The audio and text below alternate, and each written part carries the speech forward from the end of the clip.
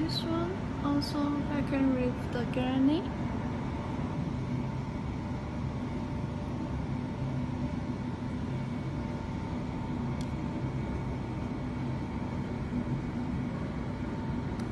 About 5 mm.